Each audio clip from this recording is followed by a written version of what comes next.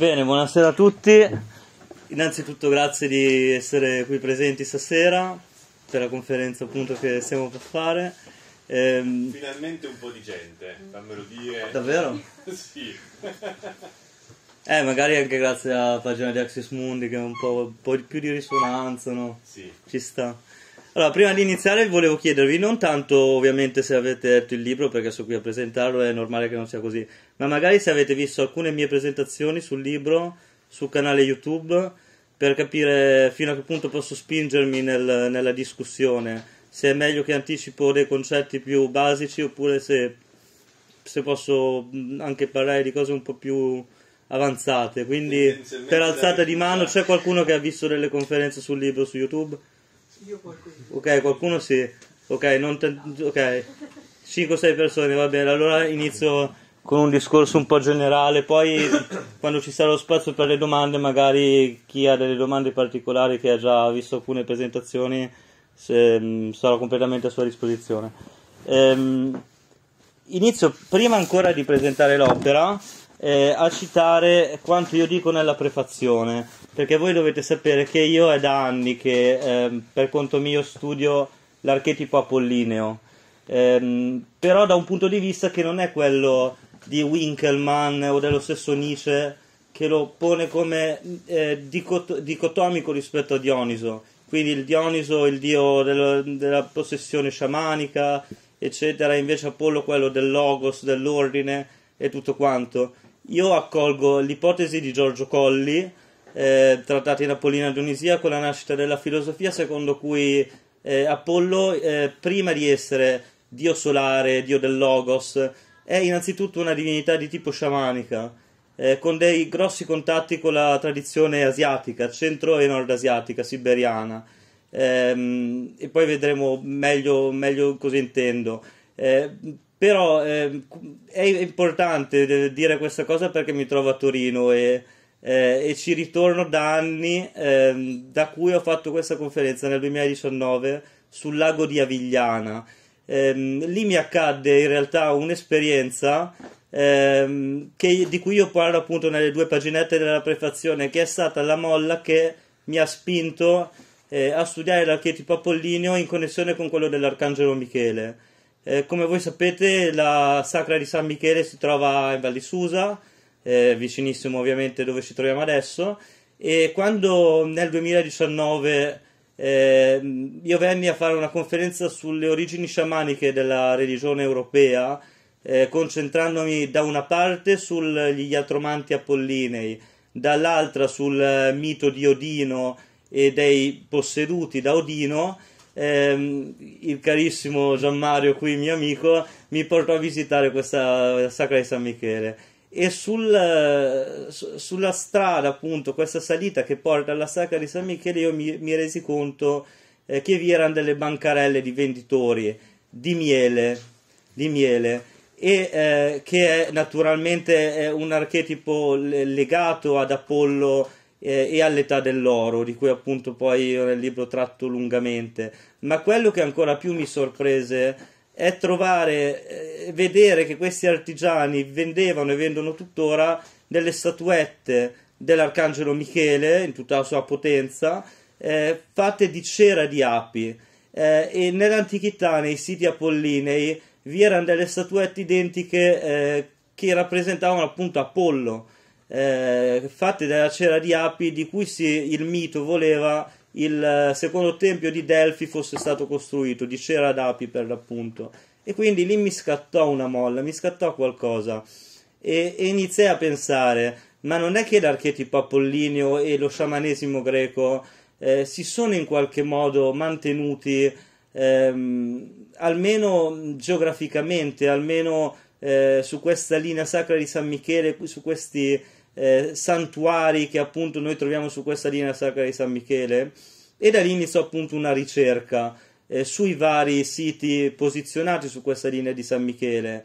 Eh, e pa- adesso parto subito a menzionare questi luoghi, però prima bisogna dire che come già riconobbe Giorgio Colli, grandissimo studioso torinese, che, che voglio appunto mh, onorare anche con, con questa in questa occasione, visto che siamo nella sua città, eh, Giorgio Colli individuò Apollo non semplicemente come il dio solare luminoso eh, uranico e del logos inteso come ordine razionale, ma invece come dio della cosiddetta coincidenza oppositorum. Eh, se noi andiamo a studiare le fonti antiche, Apollo è considerato una potenza divina che unisce gli opposti, eh, che unisce eh, la, la, sua dimensione assiale, polare, dopo vedremo in che senso, più che solare appunto, a quella invece abissale, a quella abissale. Ed è questo il motivo per cui nell'Apocalisse di Giovanni Apollo viene denominato l'angelo dell'abisso. Eh, di questo parleremo meglio alla fine della mia discussione perché eh, ne parlo nel quinto capitolo dell'Apocalisse di Giovanni in rapporto con gli oracoli sibillini. Eh, Torniamo allora agli iatromanti apollinei, a questi sciamani, a questi sapienti, a questi veggenti che nell'antica Grecia preistorica, perché stiamo parlando del XVIII secolo a.C., quindi prima della nascita della filosofia propriamente detta, questi iatromanti apollini li troviamo distribuiti in tutta la Magna Grecia. Eh, in Italia pensiamo ad Empedocle, eh, poi possiamo pensare ovviamente a Pitagora, pensiamo ad Eraclito, eh, ma anche addirittura nelle colonie sul Mar Nero, eh, quindi nel, nel, nell'attuale Ucraina, nell'attuale Crimea. Eh, vediamo che questi santuari sotterranei apollinei, perché si trattava di santuari sotterranei, venivano utilizzati dagli iatromanti, che eh, etimologicamente significa veggenti guaritori, proprio per accedere a questa dimensione abissale del Dio in cui veniva possibile, diveniva possibile l'incontro con la potenza luminosa apollinea, al punto che le fonti storiche, gli autori greci e latini, ci parlano di una serie di santuari eh, in cui determinati eroi dell'antichità eh, o determinati sacerdoti apollinei, appunto, sarebbero stati rapiti in spirito dalle ninfe e dalle muse e da quel momento portati in spirito eh, eh, come possiamo pensare tipo ad Elia e Ezechiele nella tradizione veterotestamentaria, portati in spirito in questo altro mondo apollineo, che poi vedremo si tratta dell'Iperborea, questa isola all'estremo settentrionale del cosmo, che ovviamente va intesa in senso sottile. Eh, ecco, una volta rapiti dalle ninfe e dalle muse apolline, diventano oracoli di questi siti ipogei sotterranei. Eh, il, questa, il questuante, colui che eh, andava nell'antichità come pellegrino a fare visita a questi santuari apollinei e eh, pensiamo anche all'Asclepion, il santuario di Asclepio che di Apollo era considerato il figlio, uno dei tanti figli appunto. Eh, con questa incubazio, perché questo è il termine, l'incubazio vuol dire accedere a questa grotta sotterranea in uno stato di digiuno dopo i, i, i, i sacrifici rituali e via dicendo, eh, stando chiuso in queste grotte sotterranee, il pellegrino poteva incontrare Apollo, eh, oppure i daimones, cioè questi eroi, sacerdoti, iatromanti apollinei che secondo il mito, dopo essere, rapiti, essere stati rapiti in spirito nel mondo apollineo, eh, si manifestavano eh, a questi pellegrini in questi luoghi ben precisi e si trattava appunto di santuari ipogei sotterranei. Quindi, già questo lo eh, comprese Ioan Petro Culiano, eh, grandissimo allievo di Mircea Eliade come, come lui romeno, storico delle religioni, che è stato ucciso in, eh, situazione, in una situazione misteriosa all'Università di Chicago, ancora giovanissimo, mi pare che non avesse ancora 40 anni. Ne parla nel libro I viaggi dell'anima, nel capitolo ottavo, quello dedicato allo sciamanesimo greco e agli iatromanti. E in questo capitolo eh, Colliano descrive i viaggi in spirito degli iatromanti, eh, che erano al tempo stesso sia nel mondo infero, cosiddetto, cioè nell'Ade greca, il regno delle ombre. Noi sappiamo che gli sciamani siberiani, mh, mm, è nota questa tradizione, ma anche i nativi americani avevano queste tecniche per andare a recuperare le anime perdute nell'Ade, nel mondo di sotto, insomma. Ed è una tradizione che ovviamente ritroviamo nel mito di, di Orfeo che eh, scende all'Ade per recuperare eh, Euridice, la sua sposa. Naturalmente eh, non è un mito campato per aria, Orfeo ha dei contatti molto pregnanti con lo sciamanesimo nordasiatico ed era considerato chiaramente figlio di Apollo. eh, era considerato un avatar di Apollo, si direbbe induisticamente, allo stesso modo di Pitagora, di Empedocle, eh, delle, dei personaggi eh, sacri che non erano semplicemente filosofi, non erano semplicemente maestri, erano qualcosa di più, erano dei veggenti, era gente che conosceva delle tecniche statiche eh, che venivano eh, insegnate solo agli iniziati. E allora ritorniamo al discorso dei santuari apollini e della linea sacra di San Michele. Ehm, avrete presente la cosiddetta linea sacra di San Michele, vero? Provo a chiedere un po'. Eh, è una linea mh, eh, che attraversa tutta l'Europa giungendo fino al Medio Oriente. Eh, inizia in Irlanda su questo isolotto chiamato Skellig Michael, prosegue in, eh, in Inghilterra con eh, St. Eh, St. Michael Mount, poi dall'altra parte della manica c'è il sito gemello che è Mont Saint Michel e poi scendiamo in Italia con la Sacra di San Michele appunto a Torino, Castel Sant'Angelo in Puglia eh, e poi ci sono i siti greci, quelli che erano nella Grecia di allora e questi siti greci sulla linea apollinea, michelita diciamo per il momento, però in realtà apollinea, sono ovviamente quelli che gli antichi greci consideravano sacro, sacri ad Apollo. Delfi, innanzitutto, il centro del mondo, l'onfalos del culto apollineo, Delo, l'isola in cui si, secondo il mito Apollo venne, nacque nel nostro mondo, insomma, Atene, eh, dove le fonti storiche ci rendono noto che ancora prima della fondazione dell'Acropoli esisteva un santuario sotterraneo dedicato ad Apollo quindi anche qui vediamo che Apollo innanzitutto era considerato come un daimon abissale eh, e poi vedremo dopo della coincidenza oppositorum. E ancora Rodi, l'isola del sole, anch'essa sacra ad Apollo e così via, per arrivare infine in Palestina al Monte San Carmelo, al Monte Carmelo, scusate, non Monte San Carmelo, che era sacro a Baal.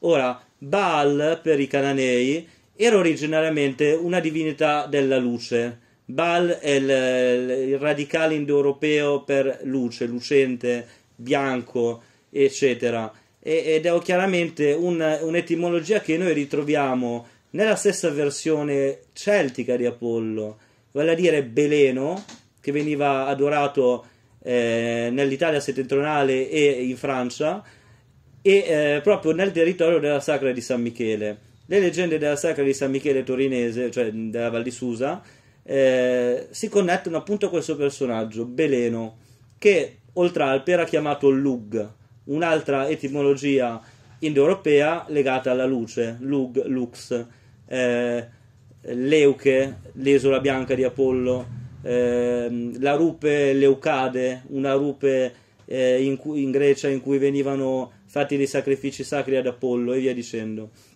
Ora, ehm, andando a studiare tutti questi luoghi, questi santuari sacri sulla linea sacra di San Michele, mm, noi scopriamo che quelli che erano eh, che si trovano nei territori celtici cosiddetti, quindi Skellig Michael, Mont Saint Michel, St. Michael Mount e la stessa sacra di San Michele eh, a, a, mm, qui in zona, insomma, in Val di Susa, erano sacri a questa divinità della luce primordiale, insomma, Bel, eh, Belenos o Lug eh, in celtico.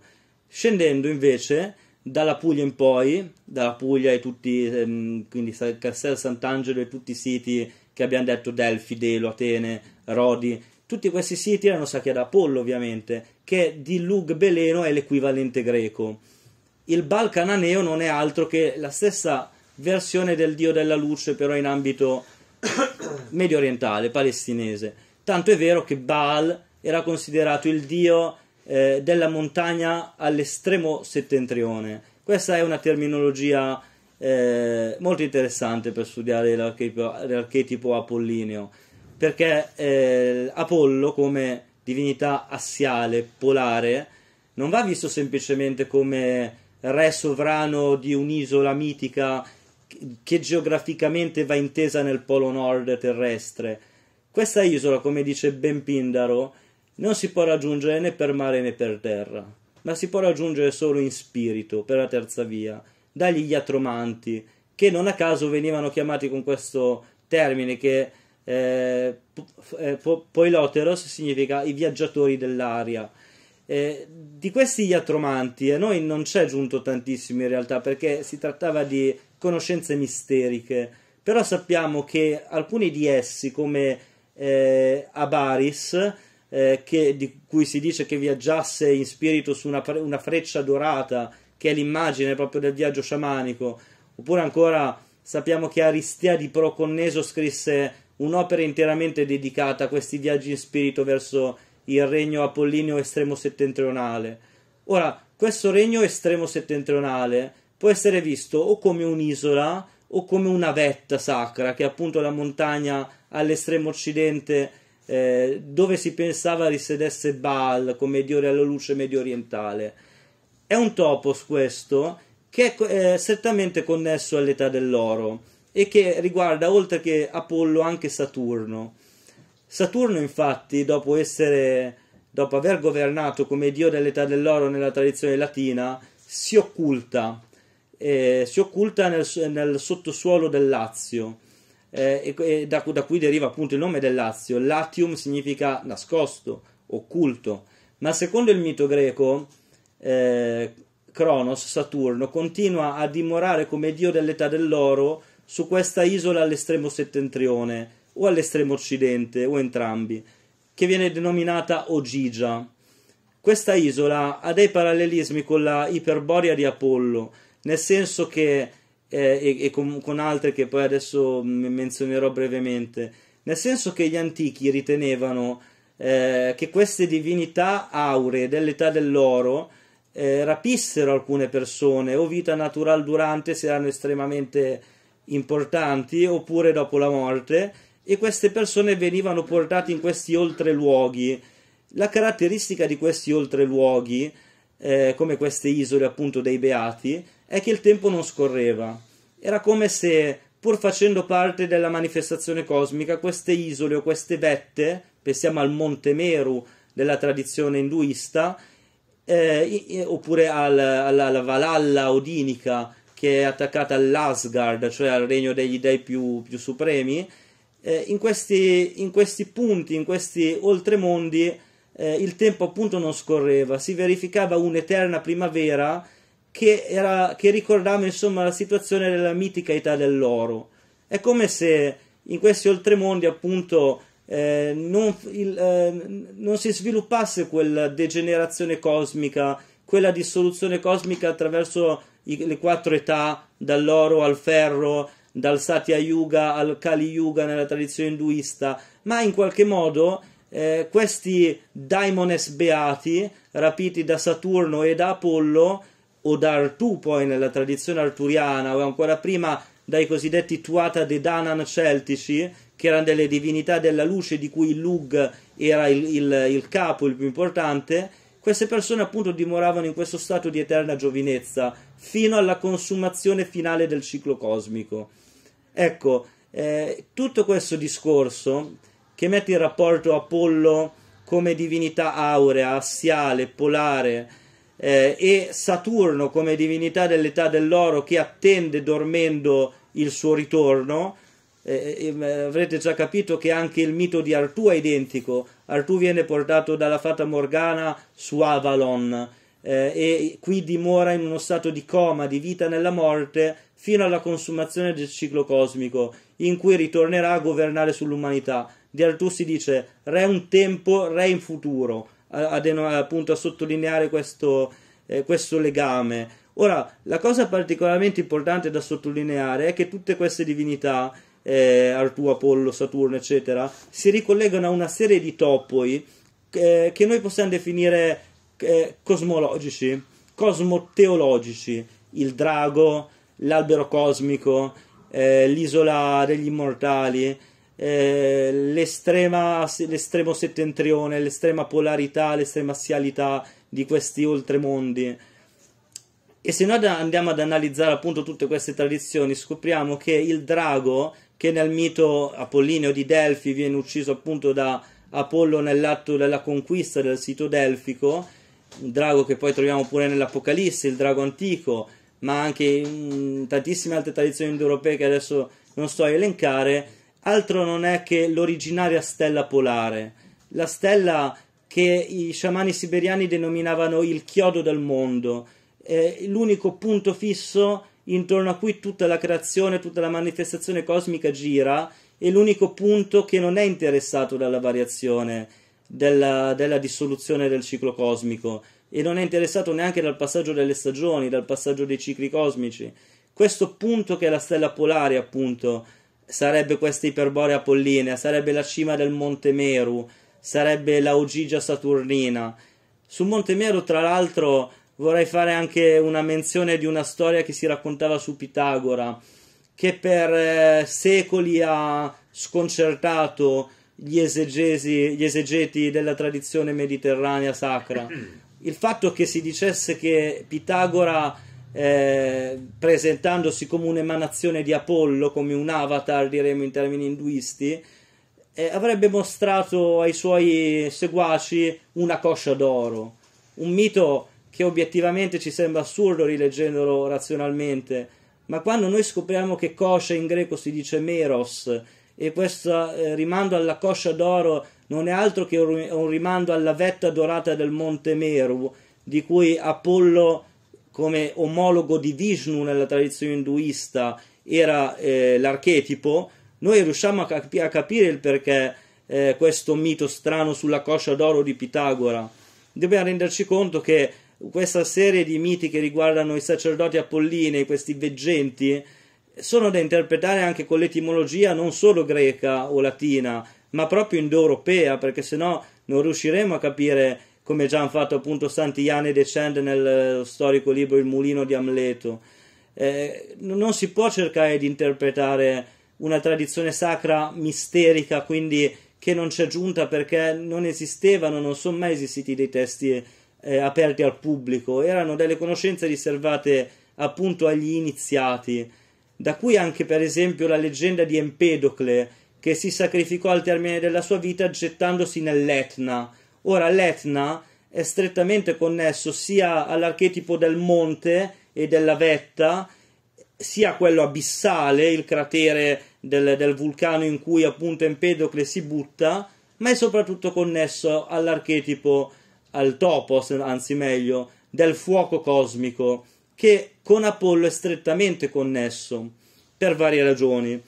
Se noi andiamo a studiare le descrizioni degli iatromanti apollini e delle sibille che da Apollo erano possedute, noi ritroveremo continuamente una menzione a un fuoco cosmico che possiede queste sibille e questi iatromanti, a un fuoco che ricorda moltissimo l'Agni della tradizione induista, che era considerato il tramite per cui l'iniziato eh, poteva raggiungere il mondo divino, eh, il Monte Meru, e poteva anche conquistare delle siddhi, dei poteri mistici, che noi troviamo identici a quelli degli induisti anche tra gli iatromanti apollinei.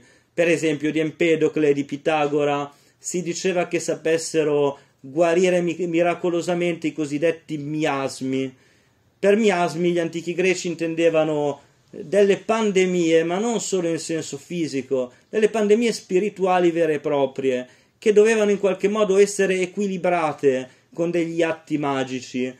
E se in India questi, eh, queste pandemie spirituali venivano appunto risolte da questi mistici, eh, da questi eh, eremiti appunto eh, himalayani, nell'antica Grecia venivano risolti dai sacerdoti di Apollo, da Pitagora, da Empedocle, eh, da Ermotimo e da altri eh, nomi di questo genere.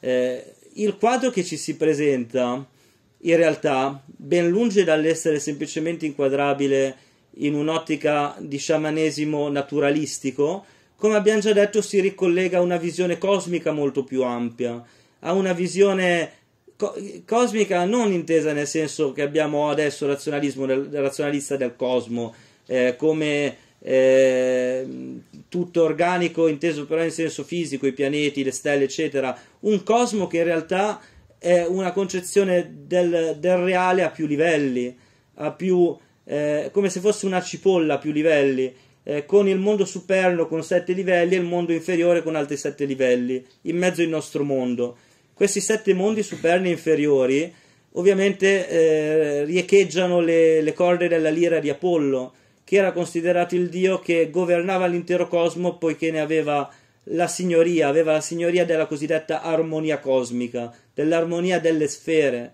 Tutti questi miti riguardanti Pitagora, eh, riguardanti Orfeo, che parlano dell'utilizzo della lira apollinea e, e dell'armonia delle sfere, si ricollegano in realtà a questa visione cosmica e sacrale che noi troviamo non solo in India, nei vari Devaloka e nei vari eh, nei mondi inferiori della tradizione induista o buddista, ma addirittura nella Divina Commedia. Se noi andiamo a mettere a confronto, su questo ho scritto un articolo per la rivista Artos del professor Renato Del Ponte, magari qualcuno la conoscerà, eh, intitolata Un confronto, un parallelismo tra gli inframondi danteschi e quelli della tradizione induista e sciamanica.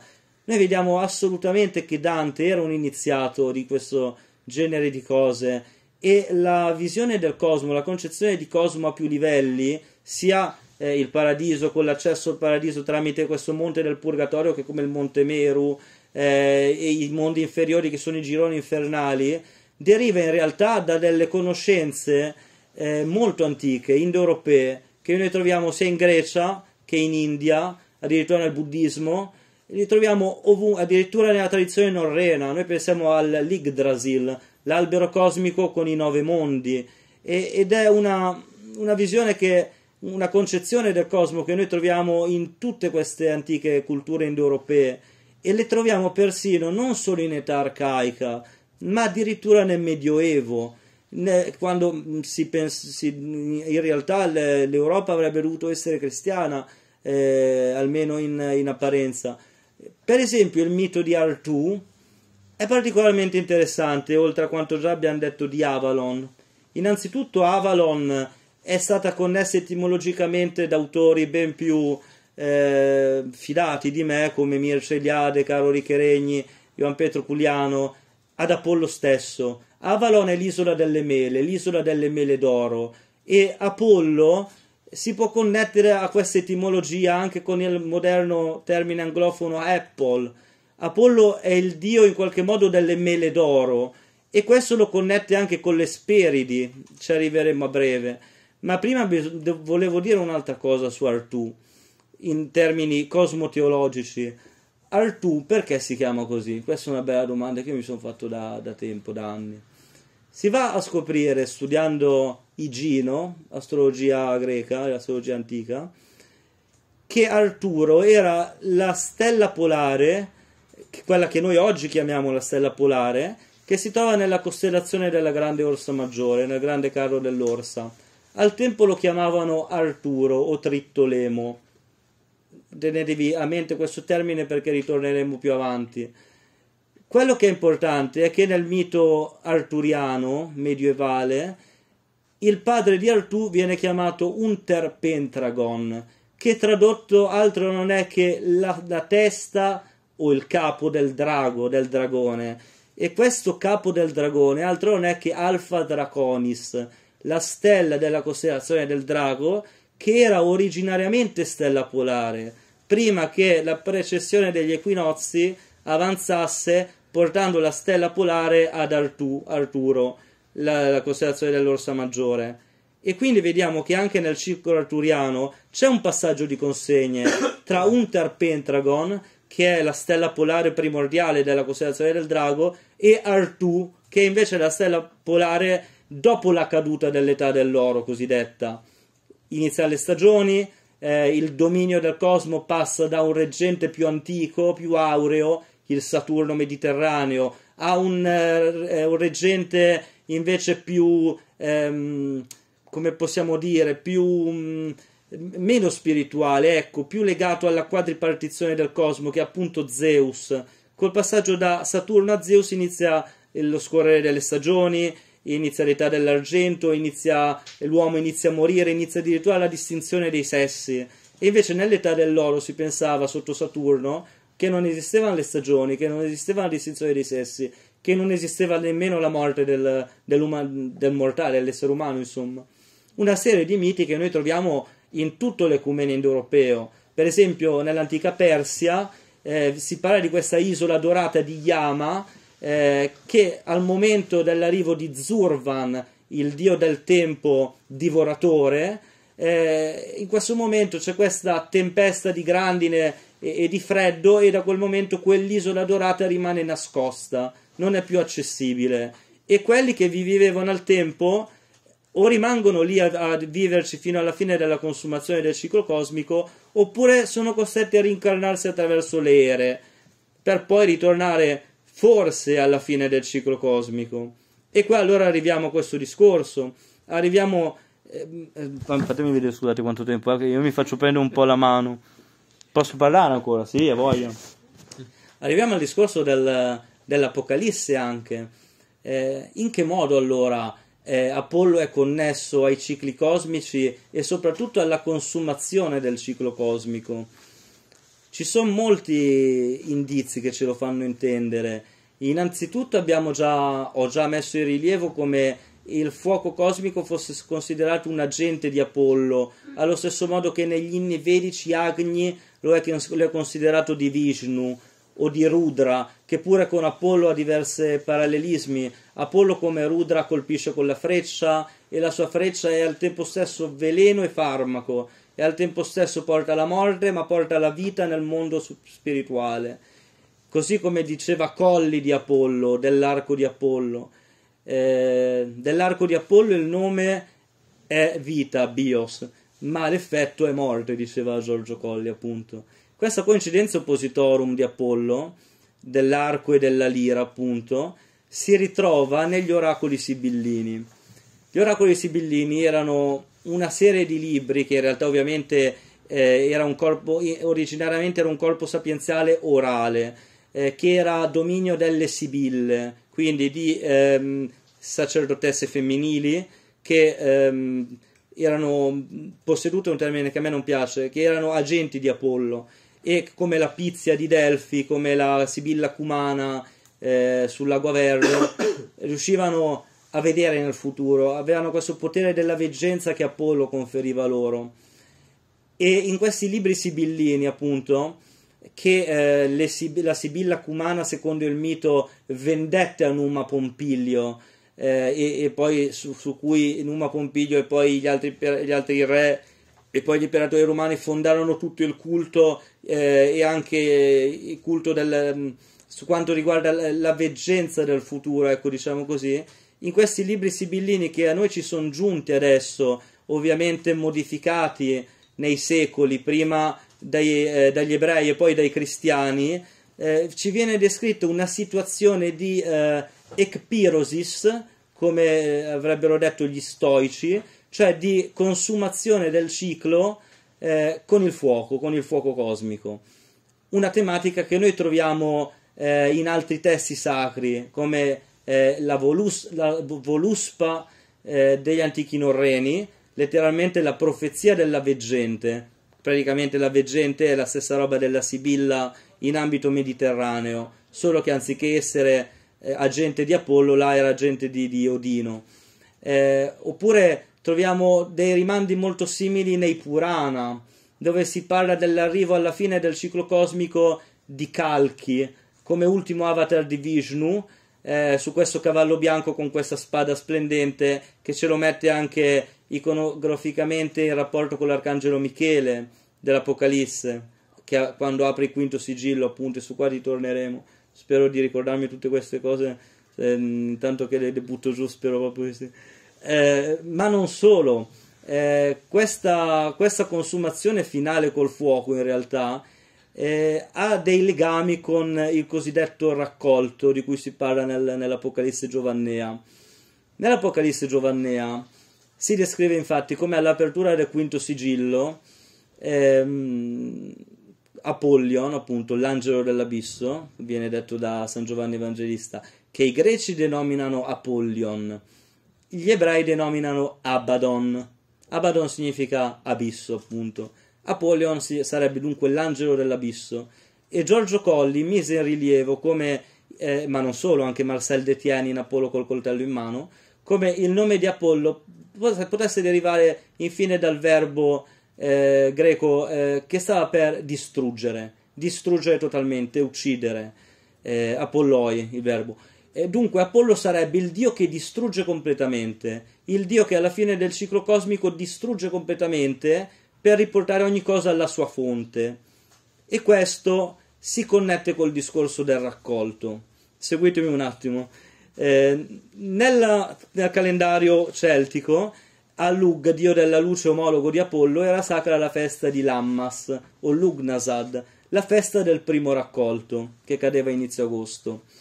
Il momento più caldo dell'anno, ovviamente, quando il mondo idealmente è arso dal fuoco solare, ecco.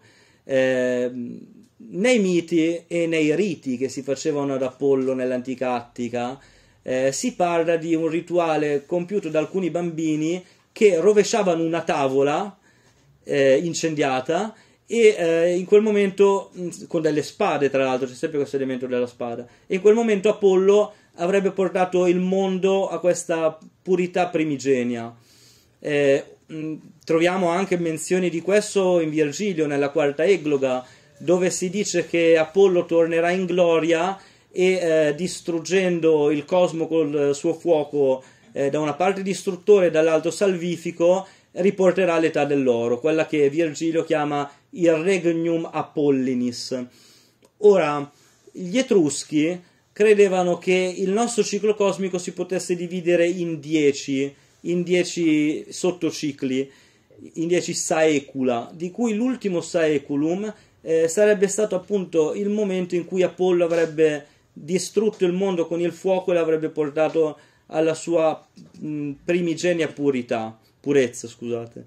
E questo eh, momento finale in cui il cosmo viene bruciato da questo fuoco che da una parte è distruttore e dall'altro è salvifico, ricorda anche la leggenda che noi troviamo nella Voluspa norrena e nell'Edda di Snorri di Surtr, gigante del fuoco primordiale che eh, esistette prima di tutti gli altri dei in questo mondo solo di fuoco e che giungerà alla fine dei tempi con il fuoco e con la spada, vedete che sono gli stessi archetipi che troviamo anche nell'Apocalisse e negli oracoli sibillini, a portare a compimento la distruzione totale del cosmo, addirittura l'uccisione degli stessi dei che vengono uccisi e uccidono eh, i, loro, i loro posti demoniaci, diciamo, Emdar con Loki, Odino con Ferrir, eh, Thor con il serpente cosmico e via dicendo. Ci sarebbe troppo da dire qui, quindi non mi voglio dilungare. Quello che è importante però sul discorso del raccolto, questo raccolto che è così legato ad Apollo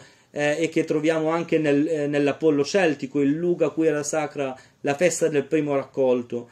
Questo raccolto lo troviamo nei misteri eleusini, dove il simbolo dell'iniziato era una spiga di grano. Si diceva che da quel poco che c'è giunto, perché ovviamente era segretissimo parlare di queste cose, l'essere umano si potrebbe vedere come una spiga di grano che muore nel mortaio per rinascere come grano mietuto. Questa è una terminologia che viene usata nei misteri.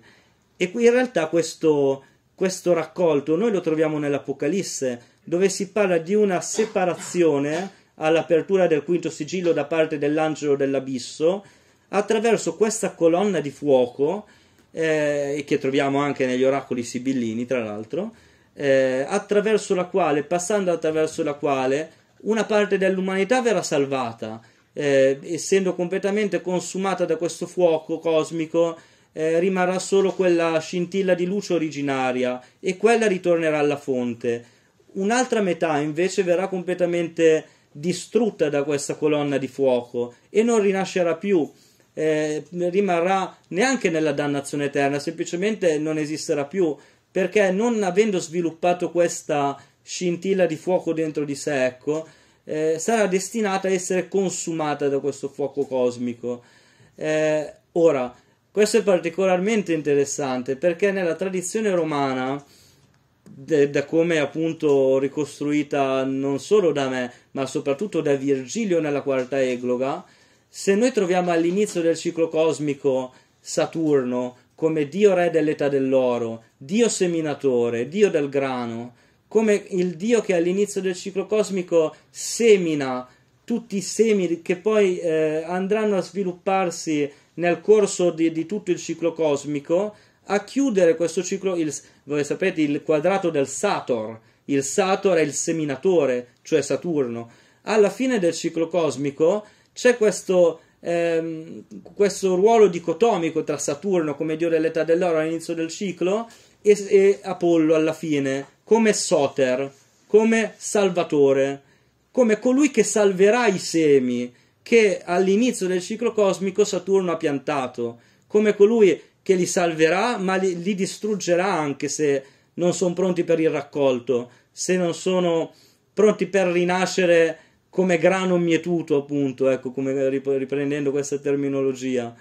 Eh, il quadro che ci si presenta ehm, è estremamente coerente. Se si unisce la tradizione greca, romana, eh, poetica, perché non dimentichiamoci che Virgilio era considerato un iniziato, non era semplicemente considerato un poeta, era un iniziato Virgilio, tanto è vero che nel Rinascimento a Napoli, quando eh, Napoli divenne una delle città principali, eh, se non la principale d'Italia per la eh, riscoperta di autori come Corne- Ermete Trismegisto, il Pimandro e tutto quanto, eh, Virgilio era considerato il Vate, il Vate Apollino per eccellenza. Tanto è vero che Dante lo scelse come guida eh, nella Divina Commedia, a dimostrazione di questa sua eh, considerazione da parte degli antichi. Eh, ma non solo la tradizione greco-romana, come detto, ci sono una serie di tradizioni che sono quelle indoeuropee, quella norrena, quella celtica, quella induista, in cui troviamo tutti questi topoi, eh, l'età dell'oro, la fine dell'età dell'oro, la caduta, la caduta degli dei e la caduta degli uomini, la caduta della luce originale in un cosmo che va eh, in una meglio, in una manifestazione spazio-temporale che va sempre più degenerando. Eh, e poi infine eh, il ritorno una, della divinità primordiale dell'età dell'oro, che può essere Surtra, legato anche etimologicamente a Saturno, oppure Apollo. Non è tanto importante il nome, è importante capire tutta la concezione generale eh, del, ehm, degli antichi, degli antichi indoeuropei. E, e ritorniamo allora a Trittolemo, visto che già l'ho menzionato. Trittolemo, altro nome per Arturo come stella polare eh, dell'età dell'argento, diciamo così, per, per, semplificare, dopo la caduta della stella polare originaria, Trittolemo era considerato non solo eh, inventore dei misteri elusini, ma era considerato l'inventore dell'aratro, ed era, ed era peraltro il nome alternativo di Arturo come stella polare dell'età dell'argento, quindi dopo la caduta della stella, primor- della stella polare primordiale.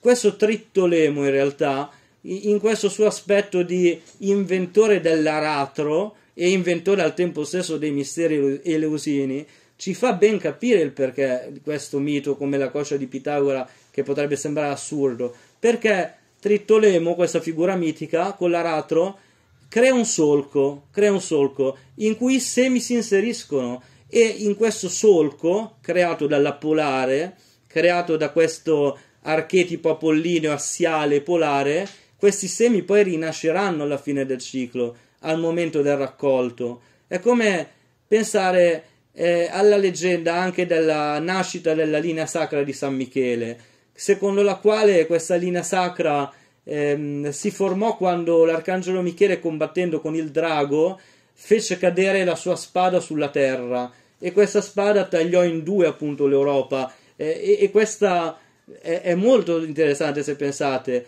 il rapporto al, ehm, al, al, al solco tracciato dal, dal aratro di Trittolemo e questo solco tracciato dalla spada dell'arcangelo Michele su cui eh, ci sono quei santuari che anticamente erano apollinei, ben prima dell'era cristiana.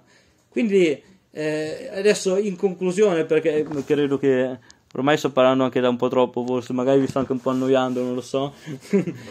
eh, la cosa interessante che io provo a fare nel libro è mettere a confronto eh, tutti questi topoi delle varie tradizioni, eh, non solo da un punto di vista semplicemente sciamanico, oppure semplicemente cosmologico, oppure semplicemente eh, escatologico, ma invece cercando di unire tutti questi lati del mito, perché per gli antichi il mito ehm, come sappiamo, non era, non era né una favola né una storiella, ma era qualcosa di molto complesso che eh, conteneva in sé, per chi eh, lo sapeva analizzare, veramente tutti i lati della realtà, il lato prettamente umano, il punto di vista umano, quindi la dannazione dell'uomo come essere che muore, rinasce e continua in questo ciclo sansarico. Però il mito contiene anche simboli cosmici, il drago, l'albero delle Speridi, eh, le mele d'oro, dico anche qualcosa qua e là, il, eh, il drago che nella tradizione greca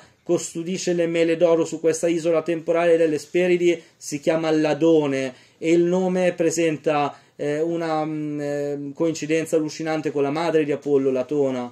È come se il drago e la donna, come madre di Apollo, eh, siano eh, una stessa immagine. Eh, il, il dio della luce, la luce mistica, nasce dal buio più totale, dall'oscurità più totale, da questo drago cosmico eh, che sta assiso sull'albero cosmico e che mh, se con la testa tocca il punto eh, più alto del cosmo, appunto il chiodo del cielo, la stella polare, eh, dal, il punto più basso tocca l'abisso, il tartaro della mitologia greca. Tanto è vero che Atlante nell'Odissea si dice quando arriva Erco, Eracle e lo incontra, non dice semplicemente che reggeva il cielo, ma che reggeva il cielo con le mani e con i piedi affondava nel tartaro. Questa immagine bellissima dell'albero cosmico. Ma non solo, ci possiamo spingere oltre. Avalon celtica è l'isola delle mele d'oro, nella tradizione norrena è Idun, questa dea dei capelli dorati che conserva le mele d'oro dell'immortalità eh, che anche qui viene rapita, eh, anche qui troviamo il serpente di Midgard come serpente cosmico, un altro simbolo che ritorna sempre quello del lupo, il lupo Fenrir che alla fine del ciclo cosmico divora gli dei, divora gli astri e noi sappiamo che se nell'ambito norreno il lupo era sacro ad Odino, nell'ambito greco era sacro ad Apollo. Tanto è vero che si dice nel mito di nascita di Apollo ad Elo che Latona, sua madre, eh, lo partorì sotto forma di lupo e non solo, tutti gli altri del seguito della dea, i dattili, questi esseri mitici, bizzarri, eh, criptici in qualche modo, anche loro seguivano la dea in forma di lupo. Questo mito ricorda tantissimo quello della nascita di Gesù, in cui la Madonna deve girare ovunque per trovare un posto sicuro per partorire il figlio della luce, il figlio di Dio. Eh, nel mito della nascita di Apollo ad Elo es- eh, accade esattamente questo, perché Giunone è gelosa della nascita di Apollo, in quanto Zeus l'ha generato con un'altra donna, con un'altra dea, con la donna, e quindi eh, eh dice Giunone dice a, a Latona, tu potrai partorire eh, Apollo solo in, eh, in un posto buissimo e nel momento più buio della notte. E c'è questo termine che viene usato da Callimaco in questo bellissimo passaggio dell'inno ad Apollo, che dice questo momento della notte in cui solo i lupi possono vedere. È il mo- Lucogenes il termine, è quel momento ehm, abissale della notte appena prima che nasca il sole dell'alba, il momento più oscuro di tutto il ciclo cosmico. In quel momento, il momento più oscuro, quando solo i lupi sapranno vedere la luce del giorno, allora Apollo nascerà e porterà, si dice nel mito di Delo, eh, questa isola che eh, originariamente è buia, non, non, è proprio colpita dalla luce del sole, è rocciosa, non cresce la vegetazione, questa isola improvvisamente diventerà dorata, eh, del tutto dorata, inizierà a crescere vegetazione ovunque e ogni cosa aggiungerà nuova vita, come se il cosmo ehm, dalla nascita di Apollo venga riportato alla purità primigenia delle, alla purezza primigenia delle origini. Eh, quindi io concluderei con questo mito del, della nascita di Apollo Adelo, ma vi vorrei, ehm, eh, vi vorrei invitare a metterlo in relazione con tutta la tradizione apocalittica ed escatologica. Perché Apollo deve nascere nel momento più buio della notte, nel momento più buio del ciclo cosmico, in cui solo i lupi possono vedere? Perché il tutto è da vedersi in connessione con gli oracoli sibillini, con il Ragnarok, con il lupo cosmico che divora le stelle e addirittura, ultima cosa, poi mi taccio e vi lascio il tempo per le domande, in, anticamente eh, il dio Apollo tra gli Etruschi veniva chiamato Sur e aveva questo eh, collegio sacerdotale degli cosiddetti Irpi Sorani, che prendevano appunto il nome da Sur, come Apollo, Sur, eh, che adoravano questo Apollo con riti sciamanici incentrati sul fuoco, camminavano sui carboni ardenti, si vestivano di pelli lupine e era una sorta di Apollo scuro, un Apollo della distruzione, del fuoco cosmico. Qua si parla di uno dei più antichi collegi sacerdotali dell'antica Roma, addirittura risalente a prima, non si sa se gli Etruschi, gli Irpini o addirittura ancora prima, ma quello che è importante sottolineare, oltre alla valenza di Apollo come lupo, connesso al fuoco distruttivo già nei rituali di questi Irpi sorani, è questa connessione etimologica tra Sur, questo Apollo oscuro, e Surtr, che abbiamo già menzionato, e Saturnus. Quindi vediamo che in fin dei conti, quando noi troviamo dei, degli aspetti oscuri di Apollo, come questo Sur degli antichi italici, eh, manifesta già fino eh, etimologicamente questa connessione con quel Saturno che fu dio dell'età dell'oro e che poi invece con la caduta dell'età dell'oro e la caduta degli dei e degli uomini e la caduta anche della perfezione, della primavera eterna delle origini eh, attraverso eh, i cicli cosmici, la dissoluzione dei cicli cosmici, vediamo che tutto questo quadro che ho cercato molto modestamente rifacendomi ad autori, ripeto, molto più eh, fidati di me come quelli che andrete a leggere nel libro, eh, dà un'immagine veramente complessa delle antiche tradizioni indoeuropee, eh, un'immagine che appunto come mm, ho cercato di, di, di accennare, di dimostrare, non si può vedere solo da una prospettiva, non si può solo vedere come mito naturalista, mito cosmologico, eh, mito antropo, antropogonico, eh, mito escatologico, ma bisogna vedere tutto in connessione, come se fossero dei puzzle, de, de, delle tessere, di, dei tasselli di uno stesso puzzle. E vi ringrazio tantissimo per l'attenzione, ho parlato come un pazzo, spero che vi sia piaciuto e sia stato di vostro interesse.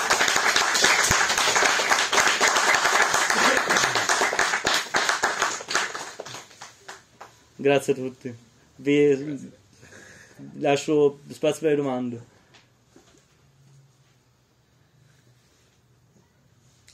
Senza paura, ragazzi. Faccio io, dato che siamo amici, ma ah, naturalmente. Carissimi. Prima, no, di, eh, di, Andrea Casella, no? Certo. Eh, volevo chiederti se anche tu, soprattutto insomma, queste ultime tue ricerche, hai raggiunto una, una, possibile condizione diciamo allotropica o comunque di, di, doppio e parzialmente mi hai già risposto durante la conferenza appunto eh, tra la, la, figura insomma, di Saturno e quella, e quella di Apollo. Beh, naturalmente sì. Visti, insomma, effettivamente esplicitando quello che tra le righe c'è. Allora in due parole, sì sì assolutamente sì, eh, in due parole proprio eh, a parte i rimandi etimologici appena detti tra Sur, Sur, tra Saturno, eccetera, eh, a parte la coincidenza, il parallelismo del fatto che come Apollo è il dio re di Iperborea, questa isola sacra all'estremo settentrione, Saturno lo è dio Gigia, che è la stessa roba praticamente, ed è anche la stessa roba di Avalon nella tradizione celtica, del, di Asgard e del Valhalla nella tradizione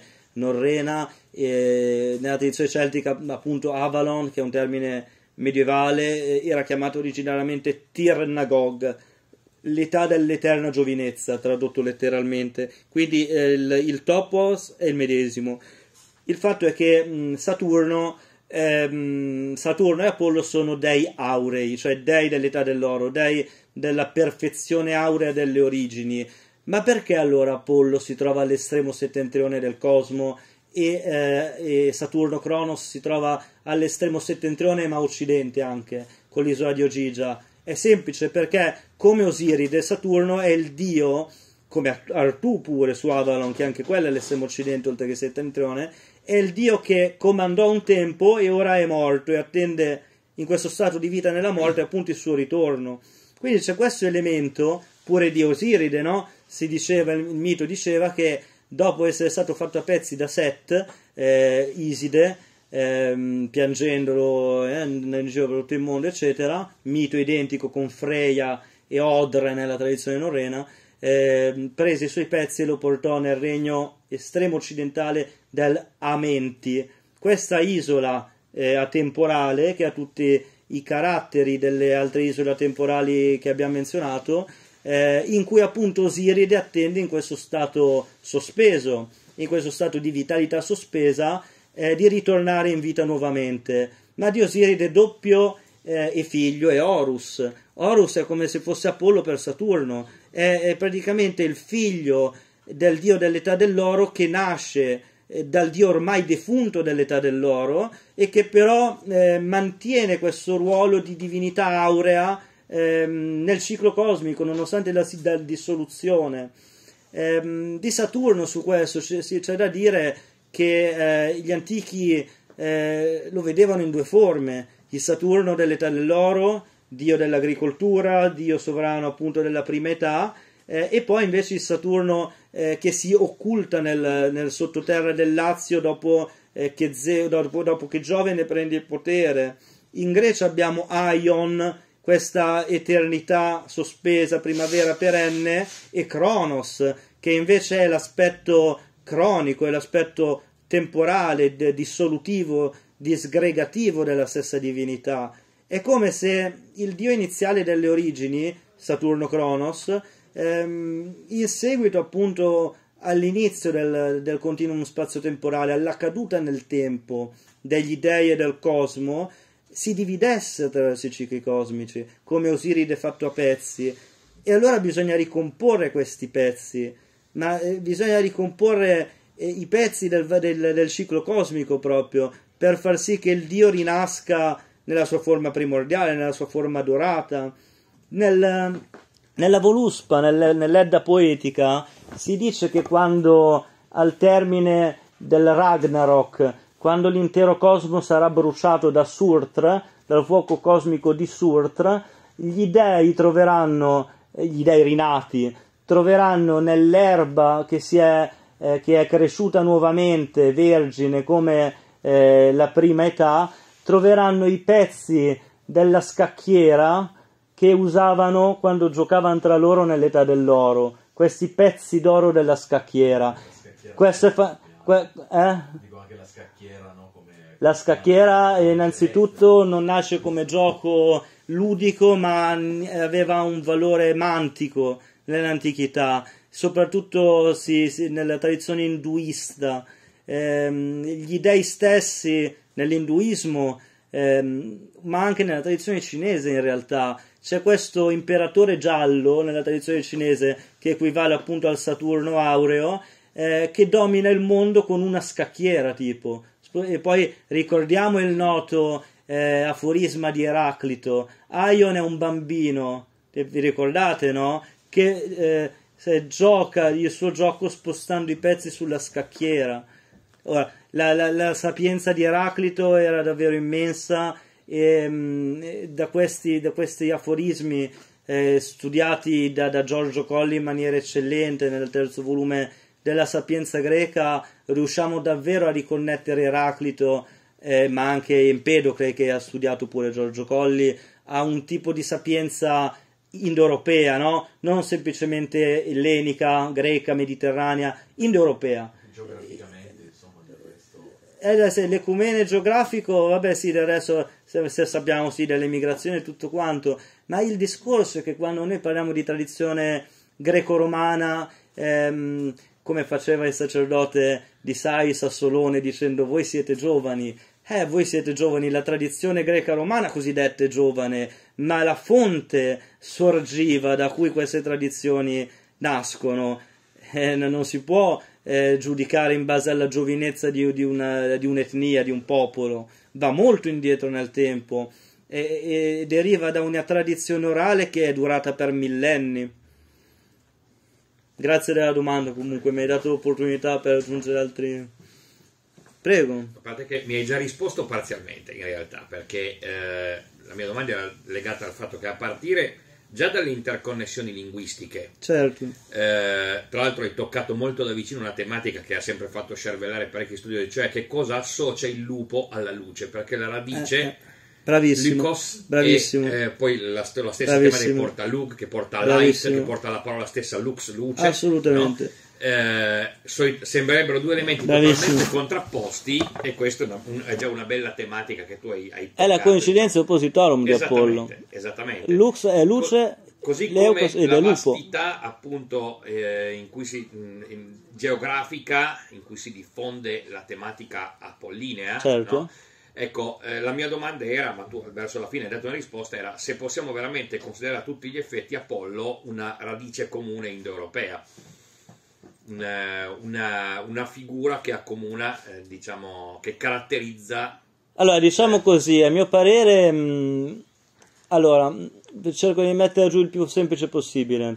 Ehm, le tradizioni indoeuropee, a mio parere, mh, e- e- e intendo ovviamente quella mh, greco-romana, quella celtica, quella nordica, quella induista, quella iranica, queste sono quelle principali, ehm, ha la stessa visione del mondo, la, ha la stessa visione esoterica del mondo e del cosmo. Gli dei, in realtà, ehm, non si può sempre trovare eh, degli dei identici, sputati da una tradizione all'altra, per la semplice ragione che gli dei, come li intendevano gli antichi, sono dei flussi, sono dei flussi divini che manifestano ehm, le loro caratteristiche eh, tramite delle azioni, ecco, mettiamola giù così. Ehm, quindi non sempre ci sarà un dio in una tradizione che equivale a un altro perfettamente in un'altra. Però, per esempio, mh, per fare proprio due parole sull'argomento, ehm, in- nell'induismo Apollo equivale da una parte al Vishnu che, che dorme in questo stato di, di- di- di vita sospesa su questo serpente cosmico a nove teste, nove il numero di Latona, nove eh, il numero di, Afro- di Artemide, sorella gemella di Apollo, eccetera, eccetera, eh, eccetera, eccetera, è troppo lungo da fare. Però la, la cosa importante da, da- da sottolineare è come questi... ehm, scusa, ricordami la domanda precisa che... No, se potremmo considerare la figura di Apollo Ecco, sì, Vishnu, Vishnu. Da una parte Vishnu su questo serpente cosmico che sogna e sognando crea i mondi, crea i cicli cosmici, ma dall'altro Apollo è identico, come già accennato, al Rudra degli inni vedici. Eh, Apollo eh, all'inizio dell'Iliade appare mentre fa devastazione eh, dei troiani colpendoli con la sua freccia velenosa e eh, questa freccia porta da una parte alla morte fisica, però dall'altra alla liberazione dell'anima e all'ascesa al mondo spirituale. Achille dimora sull'isola Leuche, che è l'isola bianca, che è un altro doppio dell'iperborea apollinea. Ci sono una serie di isole, l'isola dei Beati, l'isola delle Speridi, e a seconda delle varie tradizioni gli eroi, come la Valhalla dei nordici, vengono rapiti dal dio della veggenza, io, a me piace più dire della veggenza perché non è solo della luce, è della coincidenza oppositorum. Anche Odino è un dio oscuro, però al tempo stesso è anche il, il, Chiaro il- veggente. è il è bravissimo, il chiaro veggente. Quindi eh, sì, mh, non si può sempre trovare degli dei che sono identici, semplicemente perché un dio, soprattutto più importante è, più manifesta varie funzioni. Sì. Quindi magari un Pantheon dice questa funzione gliela affibbio a questo dio, quest'altra funzione gliela affibbio a quest'altro nome, quest'altro nume. Il nume originariamente era il nome del dio. No, il dio era il nome, era un aspetto del dio, era eh, un- un'epiclesi del dio originario. Però sì, il discorso è che andando a mettere insieme, eh, per farti adesso l'esempio del mio libro, eh, personaggi come Apollo Saturno, Prometeo io pure cito, perché Prometeo o Fetonte hanno dei lati apollinei nell'Apollo scuro che con il fuoco distrugge eh no, le- la via eh, solare che presa da, da Fetonte rubando il carro di Apollo incendiò tutto il, il cielo e tra l'altro secondo il mito atterrò proprio in Val di Susa, il carro Sì, infuocato, sì, dove esatto. sorge la sacra di San Michele, quindi è un'altra cosa pazzesca. In più Fetonte è eh, etimologicamente da connettere a Fanes, perché Phaeton significa il lucente e Fanes significa splendore lucente.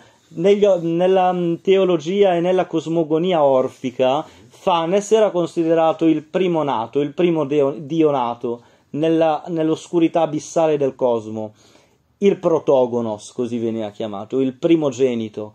E si dice nel mito orfico, il, il mito d'origine proprio, che eh, nascendo come primo dio, Fanes, splendore luminoso, eh, aveva il dominio di tutto il cosmo, ma senza neanche dover esercitare questo dominio, semplicemente perché essendo pura luce eh, eh, è come se tutto il cosmo fosse invaso dalla sua potenza, partecipava della sua gloria. Ora, cosa ci dicono gli Orfisi? Ci dicono che Fanes rinunciò al potere primigenio perché non sapeva cosa farsene fondamentalmente, perché avendo già tutto in suo possesso, non viveva questo possesso da soggetto ad oggetto, era già tutto dentro di sé e, que- e per questo permise a Zeus di inghiottirlo. Dal momento in cui Zeus inghiotti, inghiotte Fanes, inghiotte questa luce primordiale, in quel momento Zeus acquista il dominio del cosmo e da quel momento il cosmo viene diviso secondo la, la quadripartizione che noi troviamo in tutte le grandi tradizioni europee, quadripartizione del cosmo, quadripartizione dei cicli cosmici, dei quattro cicli nel ciclo cosmico più grande, e Zeus d'altronde eh, è legato al quadrato, è legato alla squadratura, è legato alla separazione degli opposti anziché all'unione degli opposti, capito? Questo mito di Fanes come Apollo primordiale, come divinità di luce primordiale, è interessante sottolineare come eh, fosse centrale nella mh, eh, celebrazione dei misteri di Eleusi in quanto il 6 gennaio si credeva che rinascesse questo bambino cosmico, questo bambino di luce, Fanes per l'appunto, le, quella che oggi ancora oggi è l'Epifania. L'Epifania. L'Epifania, cioè l'Epifania è la manifestazione visibile del Dio. E non è neanche un caso che eh, l'Epifania, la, la, rinascita di Fanes, del Dio della luce, avvenga il 6 gennaio, il che è 12 giorni dopo Natale, il solstizio d'inverno in cui il Sole pu- tocca il punto più basso del suo ciclo precessionale no? intorno alla Terra. E da Natale all'Epifania ci sono esattamente 12 giorni, che altro non sono che i 12 mesi del, del, del percorso annuale del Sole. Ecco. Spero di averti risposto brevemente. Assolutamente. Poi è un argomento talmente vasto. Eh, no, che... grazie. A te, grazie. Mattia, prego. Ultima. Sì. No, volevo uh, tutte queste um, no, conoscenze uh, misteriche e iniziatiche, no? Che si sono tramandati per, uh, per, molti secoli, hanno subito una drastica discontinuità con, con la cristianizzazione poi della, dell'Europa la fine di Eleusi naturalmente l'arrivo dei, dei Goti. Cioè secondo te la, la, continuità perché poi anche parli di elementi di iconografia medievale no? sì um, che cos'è che segna la, la continuità uh, dove la possiamo rintracciare cioè in quei periodi anche dove c'era comunque forte censure, dove anche sì, sì, capisco bene la domanda, sì, sì. acquista anche cioè in Dante stesso, nonostante Ti sei risposto da solo, in Dante stesso, dov'è che sopravvive questa sapienza antica? Nell'epopea, nella poesia, nel ciclo arturiano, nelle navigazioni celtiche, che è un genere di cui parlo nel libro. Eh, Imrama si chiama, li chiamavano i gaelici. Queste navigazioni erano un genere letterario eh, in cui veniva narrato ehm, il viaggio per mare di questi santi, ma prima originariamente erano degli eroi, in, epoca ovviamente pre-cristiana, verso questa isola mistica, l'isola setten- dell'estremo settentrione. E c'è un, un, genere letterario, appunto, le navigaciones, gli Imrama, eh, in cui questi santi, questi eroi vengono descritti eh, nell'atto di attraversare oceani, colonne di fuoco, eh, isole abitate da demoni, isole abitate da peccatori, per giungere infine a questa isola degli immortali. Quindi que- questo dovrebbe essere un genere, anche se originariamente chiaramente non era cristiano, nell'epoca cristiana è un genere cristiano, si parla di San Brandano, la navigazione più famosa è quella di San Brandano, si parla di altri santi che, fanno, che compiono questi viaggi ed è chiaro che non si tratta di viaggi fisici. No, ricordiamo Pindaro, né per mare né per terra tu potrai giungere alla terra degli iperborei, no? E, e anche queste navigazioni che dovrebbero essere cristiane in realtà pullulano di elementi pagani, assolutamente pagani, non possono essere considerati cristiani. Proprio mh, basta leggere la navigazione di San Brandano, basta leggere ehm, la Cristi Sofia. Pissi Sofia, beh, quello è più antico però Pissi Sofia. Eh, sì. Eh sì. Penso, eh, no? Sì. Pissi Sofia è molto Sì, più antico, sì, sì, sì, sì. Però comunque ecco, eh, dov'è che, che- che va a rintanarsi l'antica sapienza? Eh, o eh, ne- nei, ehm, eh, negli ambienti rurali, diciamo così, in cui ehm, sono sopravvissute eh, delle mm, confraternite iniziatiche, però ecco lì più dediti a culti magari più ctonei, più mh, della fertilità, eh, ma a livello invece ehm, di visione mitica, cosmogonica, cosmologica, nell'epopea a mio parere, perché una volta che tu eh, tratti queste, queste conoscenze sacre come delle favole, allora che almeno queste favole siano scritte bene, eh, che queste favole diventino delle epopee leggendarie che possano no, avvicinare un pubblico che non si aspetterebbe minimamente di trovare degli elementi sapienziali così antichi eh, in delle saghe medievali.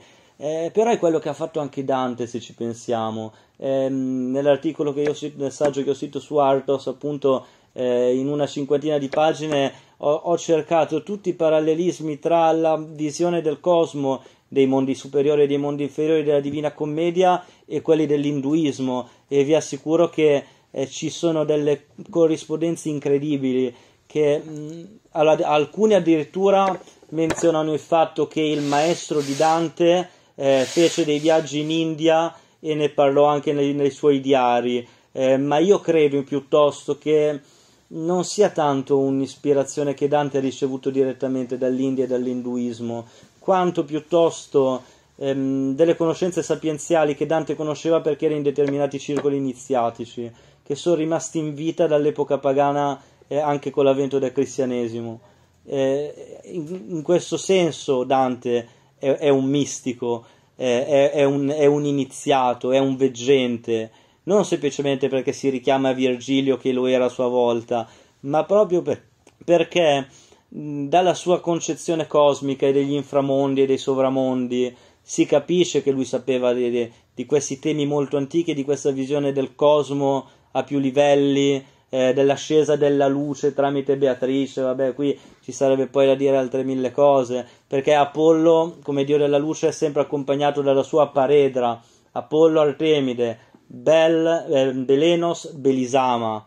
Tra l'altro, piccola parentesi, il Duomo di Milano è costruito originariamente sul santuario sacro a Belisama e questo è il motivo per cui è l'unico Duomo in tutta Europa che al punto più alto ha la Madonna e non ha eh, Gesù Cristo, la statuetta d'oro di Belisama, la dea no, paredra e moglie del, del dio della luce e dell'oro. Eh, e, e ancora Lug e Lusina o Lugina, che poi è diventata la Melusina delle, saghe medievali, e Santa Lucia. Santa Lucia è, è la dea del. eh, anche lì c'è la coincidenza, si trova la notte più buia dell'anno della tradizione scandinava, notte del 13 dicembre, e c'è l'Epifania, la manifestazione di Santa Lucia. Ma ricordiamo anche qui perché Santa Lucia non ha gli occhi. Ritorniamo a quanto dicevamo prima. Eh, il- la perdita del- dell'occhio, della vista fisica, coincide con qualcosa di più, di più sottile, di più, no? di più intimo che ha a che fare con il fuoco sacro. Tiresia era, era cieco, Odino ha rinunciato a un occhio per conquistare la sapienza alla fonte di Mimir. Insomma, qua si potrebbe parlare ore di tutti questi collegamenti.